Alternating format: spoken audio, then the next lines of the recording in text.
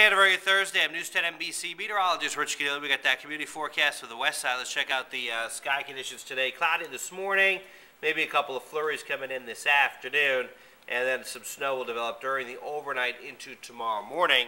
Temperatures generally in the 20s, we could be looking at over six inches of snow during the day on Friday for the west side. That's the latest on the weather. I'm News 10 NBC meteorologist Rich Caniglia.